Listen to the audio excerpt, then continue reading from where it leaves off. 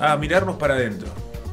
Vamos a hacer una mirada introspectiva de, la vida, pero también a través eh, no solamente, no solamente de la reflexión, sino también del discurso, porque tener eh, una tener una mirada fuerte sobre uno mismo también te hace poder compartirlo con otros y ayudar a otros. Y es en esta metafísica del ser que estaremos en contacto y aquí en el piso con Micaela Garger y Andrea Escobar. Son eh, estudiantes, eh, alumnas de la Escuela de Coaching Ontológico Americano, que tiene su sede aquí en Balcarce al 1700, ahí en plena Plaza Purredón, y están haciendo sus primeros años de esta, de esta carrera, de esta certificación que lleva dos años conocerse para poder ayudar a otros. ¿Cómo están? Buen día. Creo que presenté bien el tema. Sí, sí, sí, perfecto. Buen día. Bueno, mi nombre es Micaela, me presento. Eh, y sí, somos estudiantes de, primer año con mi compañera. Buen día. Yo soy Andrea Escobar. Eh, sí, exactamente. Buen día. Muchísimas gracias primero por la invitación. La verdad que, eh, tal cual como lo dice, es una, una carrera más introspectiva, más para, para poder conocerse a uno mismo. Así que hoy más que todo, más, para, más que invitarlos a conocerse a uno mismo, queremos que realmente conozcan un poco de lo que es la carrera. Por favor, sí, y es, es algo que está en boga hace ya un tiempo, eh, pero cada vez es más, más popular o, más popular en grupos de trabajo, en empresas, eh, eh, también en dinámicas grupales de otra característica. Bueno, todos buscan eh, adquirir habilidades para, bueno, para desarrollarse en la vida, en ventas, también en trabajo interno, en un montón de cuestiones. ¿Cómo ven ustedes, ah, después de, que, de este año que, que pasó, que les puede servir esta, bueno, ser coach ontológico? Eh, sí, el coaching justamente lo que ofrece es eh, un espacio para poder atravesar eh, procesos transformacionales y también de exploración, para poder conocerse, para poder mirar esas creencias que por ahí nos limitan, que no nos permiten rendir o lograr esos objetivos que, por ahí venimos posponiendo. Y justamente lo que invita es eso, ese espacio de acompañamiento para atravesar ese proceso transformacional. y obviamente empezar a rendir, a, ir por esa vía plena. Eh, sí, tal cual. Em, en mi caso, por ejemplo, el primer año de, lo que era la carrera de coaching, em, te enseña mucho toda esta parte de las distinciones, ¿no? De, justamente eh, distinguir en, qué estás quizás pifiando un poco en tu vida, qué es lo que te está faltando en tema de compromiso, o quizá para qué te están eh, sucediendo las cosas y no por qué. Eh, o sea, hacerte cargo inclusive de lo que a ti directamente te está sucediendo, porque justamente te enseña un poco a cambiarle el observador, cambiar un poco la, la, manera de ver, el punto de vista a cada situación, y que en lugar de decir, me está pasando esto, a ver, ¿qué hago con lo que está pasando? Y en este año, bueno, que le dedican más a la, introspección, ¿han sentido que, bueno, que su vida les, ha, les ha servido de alguna manera en su trabajo, en su familia, en sus relaciones? Eh, sí, particularmente a mí sí. Eh, obviamente es un proceso eh, personal donde primero es mirarme a mí internamente, qué es lo que está pasando, qué es lo que está sucediendo con mi vida y empezarme a hacer cargo. Hay cuestiones que, por ahí me gustan, hay cuestiones que no me gustan, pero mm, en base a tener esa información, a poder mirarme de forma honesta, me da la posibilidad de elegir actuar de forma diferente, me da la posibilidad de elegir ser alguien diferente y, eso obviamente me, me, permitió abrir posibilidades tanto en el trabajo como en la familia, mis relaciones, mejorarlas, eh, desafiarme también, salir de mi zona de confort, eh, de esa cajita que, si bien me da seguridad y comodidad, no me permite, obviamente, ir por cosas más grandes. sí, sí, tal cual. El, eh, una vez que quieres indagar un poco en el coaching, es un viaje de ida. O sea, eh, y no se hace coaching para ser coach solamente. Muchas personas que hacen coaching justamente porque no consiguen otras herramientas, de pronto van a un psicólogo y no se sienten cómodos, de pronto van a terapias y no se sienten cómodos. Entonces en el coaching encuentran esa introspección y esa, ese conectar consigo mismo, de decir, a ver, cuando alguien me explica una teoría, yo digo, uy, mira cómo estoy eh, actuando en esta situación, o fíjate cómo yo lo estoy viendo y si cambio el observador o cambio mi punto de vista, quizá le puedo tomar una, una solución a, a, esta, a esta situación. Entonces, es como hacer un, una... Eh, darle directamente una vuelta a, a, la forma de vivir directamente, ¿no? Y conectarte contigo mismo y por supuesto que eso, cuando ves cuando uno dice, nada cambia si tú no cambias, se, se, trata no tanto de cambiar, sino justamente de reconocerse a uno mismo para que una vez que tú te reconozcas, las otras personas al verlo y por proyección, ya directamente todo lo que está afuera empieza a cambiar. Quizás eh, vuelvo un poco atrás eh, de lo que venían contando, pero sobre todo cuando uno termina los ciclos educativos como la secundaria, no sabe muy bien qué estudiar, salvo que haya una especie de un oficio muy marcado o una, una intención de decir, bueno, yo voy a estudiar esto porque estoy convencido 100%. No sucede para mí, pero creo que, hay un poco de eso que juega. ¿En ustedes hubo un motivo particular o algo que lo llevó a estudiar esto? Sí, en mi caso, por ejemplo, yo hace ya 3, 4 años, yo soy venezolana, me vine hace 7 años de, de, mi país y justo acá fue como que arrancar todo de cero, todo que ese desarraigo, ¿no? Entonces fue como decir, a ver, era como que no me encontraba, no estaba en mi país, no me encontraba con mi familia, o sea, era como que todo muy, muy disperso.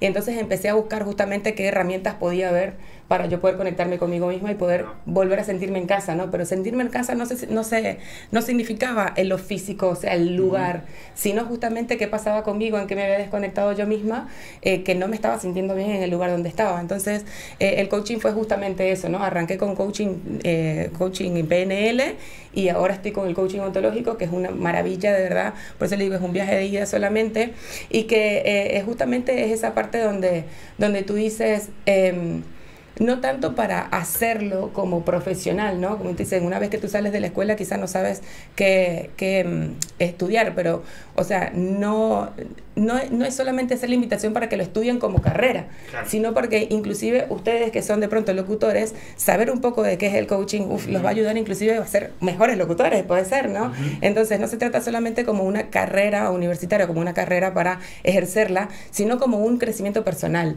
como una, eh, una parte de que tú puedas eh, desarrollarlo para estar al servicio, para ayudar a las otras personas, para darle herramientas a otras personas que puedan directamente desde allí tomar soluciones y ir más hacia adelante y poder afrontar de forma diferente cada situación de vida. Total, eh, sí, estaba pensando en lo de hacerse cargo, lo de, lo de bueno, también salir de su zona de confort, pero también eh, desde el coaching odontológico también, eh, ¿qué plantean en relación a, lo, a los vínculos por ahí que nos afectan? Porque uno, bueno, yo me hago cargo de lo mío, pero si tengo alguien que me, que, alguien tóxico en mi círculo, ¿De qué manera por ahí tratan de, o, de alejarse o de romper o de ayudar? ¿Cómo es, la, cómo es esa técnica? Eh, mira, permiso. Eh, justo cuando ellos estaban hablando me, me saltó una frase que repiten un montón y que hablan de que el coaching se basa en conversaciones. Eh, y, o sea, trabaja sobre eso, pero porque todo el tiempo estamos conversando. Eh, y yo creo que eso es fundamental. El coaching ontológico lo que hace es acompañar al ser. Y acompañar al ser en cuanto a todas las conversaciones, ¿sí? No solo las que queremos tener con otras personas, de bueno, si queremos eh, declarar basta, si queremos a lo mejor abrir un acuerdo, tener una conversación eh, que nos permita abrir posibilidades con esa persona y no que nos cierre o que nos haga sentir de cierta manera. Eh, y sino también eh, mirar las conversaciones internas que tenemos. ¿Qué es lo que nos decimos? ¿Por qué terminamos en esas relaciones? ¿Qué generamos? ¿Qué buscamos ahí? trabaja mucho en eso, en, las conversaciones que tenemos y qué conversaciones nos permiten abrir justamente posibilidades, abrir caminos. Bien, Sí, tal cual. El tema de los vínculos es un tema que hoy en día se trabaja muchísimo, eh, justamente porque las personas en, en, el coaching aprendemos a que todo, todo el tiempo estamos haciendo juicios de otras personas, ¿bien? Eh, y a veces justamente lo que hace que tengamos malos vínculos, como bien dice eh, Mika, eh, primero la vida se basa en relaciones, las relaciones se basan en conversaciones, pero tienen que ser buenas conversaciones. Y a veces no sabemos cómo hacer una comunicación efectiva o cómo hacer un pedido o cómo inclusive a veces en estos días hacíamos una, un, o sea, hacemos como un ejercicio y decía, ¿cómo es posible que se, se, te haga más fácil decir malas palabras, pero cuando dices un te quiero, te amo, un perdón, un, un, un ofrecimiento se te haga tan difícil?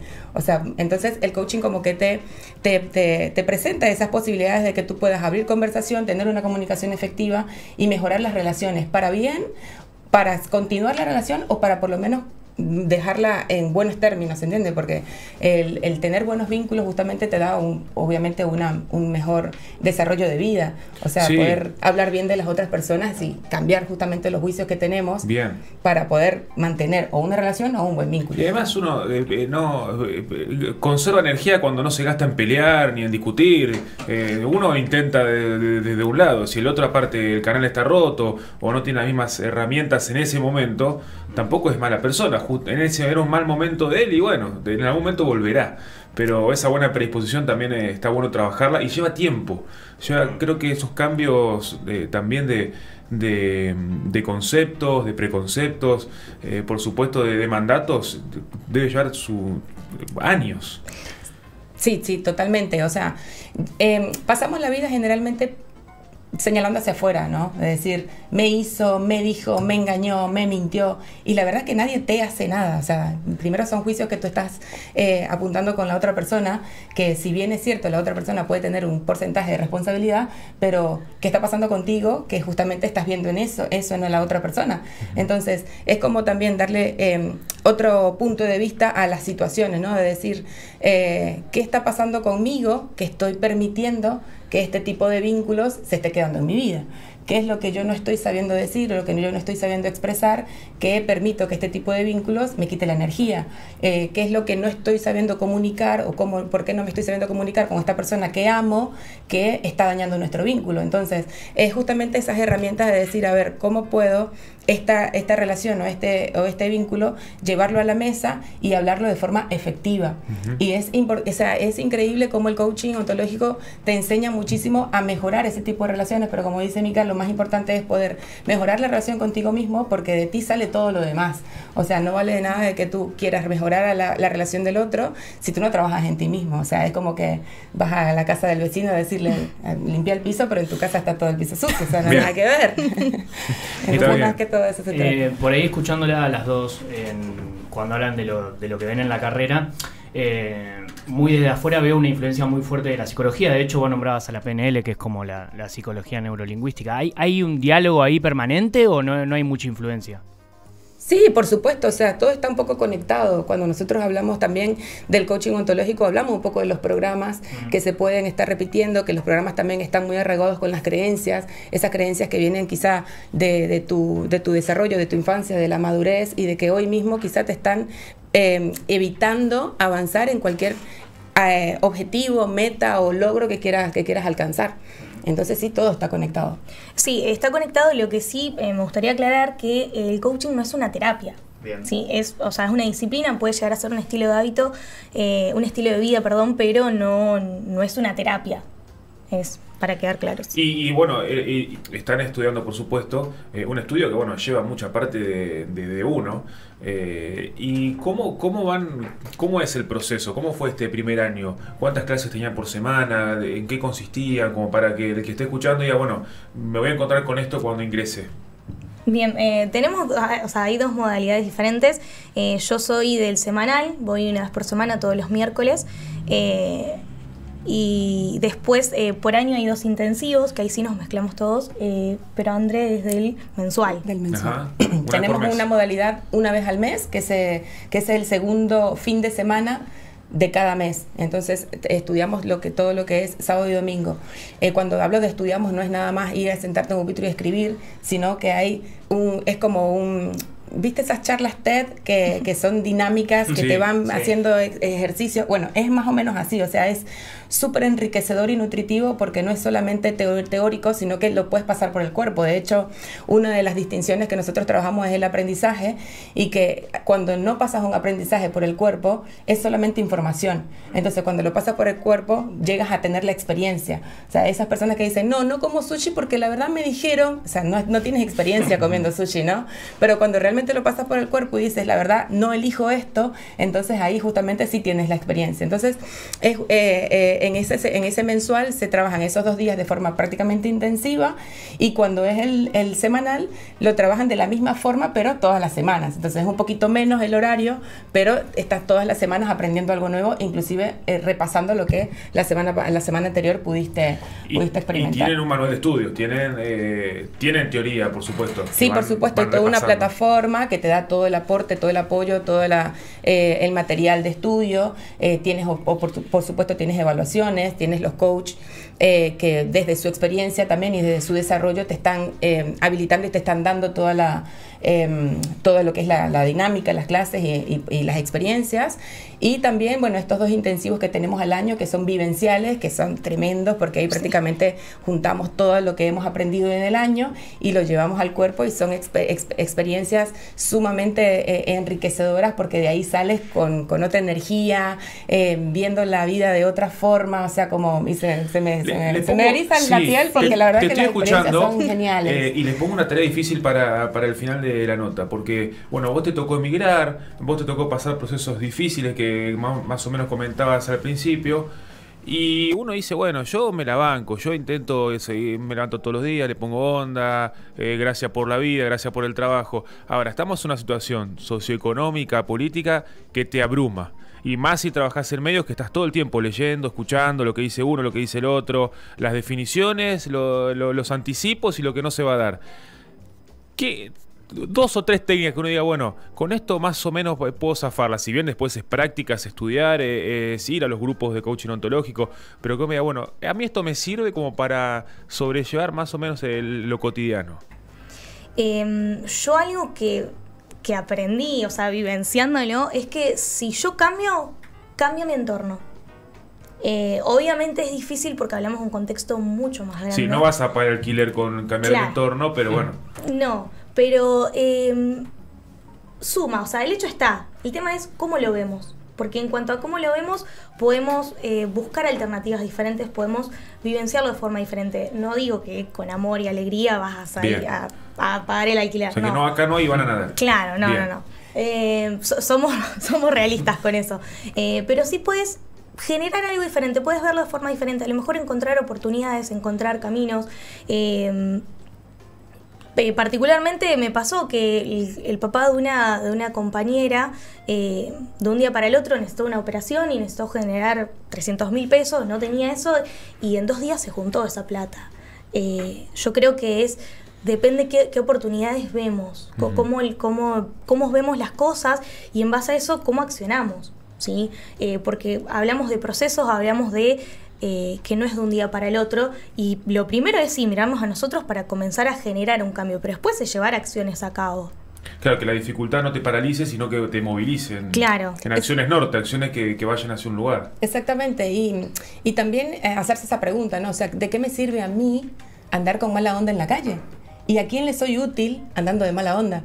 Entonces, eh, está bien que la situación puede ser difícil y, yo que vengo del futuro les puedo decir que viví muchísimo de eso, pero, pero que si bien el coaching te enseña mucho, primero como decíamos al principio, hacerte cargo de lo que te está pasando, que más allá de que tú puedas echarle la culpa al otro y que la situación y que la economía y está todo perfecto porque todos obviamente lo vivimos, es algo que está latente directamente en, el, en la energía, en el ambiente, pero sí que no vas a ayudar haciendo mala onda, ¿no? De hecho, o sea, hacer, ser mala onda porque está mala la economía, llegar a tu casa y rechazar un abrazo de tu familia porque la economía está mal, o sea, no te va a hacer mejor economía. Entonces, eh, lo que le invitamos a las personas que quizás están escuchando esto, que andan muy estresados quizás por la situación, es cambiar un poco esa energía de en sí mismo, de decir, a ver, ¿por qué hoy no me puedo permitir, en lugar de andar mala onda porque todavía debo el alquiler, ver, sonreír un poco y ver qué bueno me puede pasar en este, en, este espacio, en estos días, ¿no? Porque si bien eh, somos energía también, entonces, si bien es cierto que cuando tú transformas, se transforma todo lo que está afuera, pero se transforma justamente porque tú vienes a proyectar algo distinto. Entonces, cuando tú proyectas algo distinto, algo positivo, todo lo de afuera se empieza a entornar positivo. Entonces, es un ejercicio que podemos empezar a hacer directamente. Y si todos cambiamos internamente, todo va a cambiar, todo vas a empezar a ver colores desde en el exterior también. Claro, porque, o sea, no, no podemos transformar o cambiar algo que no está a nuestra disposición. Tiene algo de los estoicos el coaching ontológico. Tiene alguna coincidencia. De justamente en, este punto. De lo, que no lo puedo cambiar, lo que no puedo manejarlo, no me preocupo.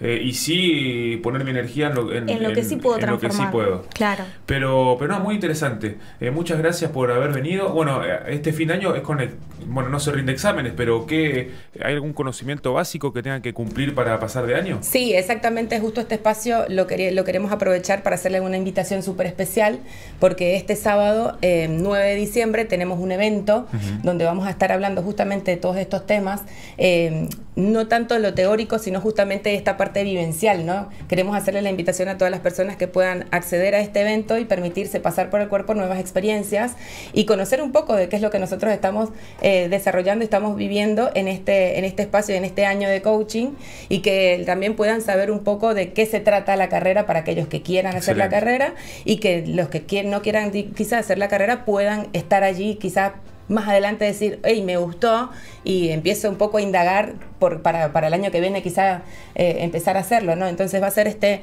9 de diciembre a las 2 de la, tarde arranca, empezamos a una y media la parte de la acreditación. No, va a ser en los auditorios de la Universidad Siglo XXI, que está en la San Martín 2023. Eh, las entradas ya quedan muy pocas, así que los que quieran asistir, por favor, aprovechen. Sí, son con eh, venta anticipada. ¿Dónde se, las entradas dónde se consiguen? Eh, le vamos, podemos... Eh, tenemos un Instagram que es eh, arroba... Dame un segundo. Sí. Es... Mientras Cayo diciendo, 9 de diciembre, este sábado, va se va a realizar este encuentro de acercamiento a lo que es el coaching ontológico en el ECOA, por supuesto. Sí, es un seminario de coaching, es un seminario que se hace anual de coaching eh, ontológico y vamos a estar dando cinco charlas, eh, donde justamente cada charla ¿A va a cargo ustedes, de las alumnas? Exactamente, justamente esas charlas van a tener un poco de lo que es explicativo y un poco también dinámico vivencial. Va a ser fantástico porque eh, las personas se van a ir de ahí con otro tipo de experiencia o sea, van con otras sensaciones, eh, con otras ideas directamente en la cabeza, así que eh, va a estar genial y, se hace una sola vez al año, así que es como darse un regalo, ¿viste? Cuando tú vas a una graduación y dices, no, tengo que ir porque es una sola vez en, mi vida que lo puedo hacer. Bueno, esta va a ser la única vez en el año, así que permítanse ese espacio para, para tener ese mínimo avance de crecimiento personal. Bárbaro. Eh, sí, se llama un mundo de posibilidades justamente para, para empezar a, poder ver la vida desde otro lugar. Hay diferentes charlas con respecto a, a ser el protagonista de tu propia vida, eh, el tema de la importancia de los valores, del aprendizaje continuo. Eh, y bueno, las entradas las pueden conseguir comunicándose al número 342. 5923 807 o al Instagram arroba seminarioecoa.sf, la abreviación Santa Fe. Em, y sí, eh, no te lo pierdas. Excelente. Mica, Andrea, mil gracias por venir. Muy interesante todo. Bueno, eh, ellas son alumnas de la Escuela de Coaching Ontológico Americano. Está ahí en Balcarce 1700. Ahí nomás, cerca, enfrente de la Plaza Purredón, al lado de uno de un bar reconocido. También al lado del Mercado Progreso. Está en esa, en esa cuadra. Y, y nada, todos invitados este sábado en los auditorios de la Universidad Siglo XXI para este seminario anual y que todos conocer lo que es el coaching ontológico y si les sirve, por supuesto, empezar este, este curso que no es tanto para el afuera, sino también empieza desde adentro.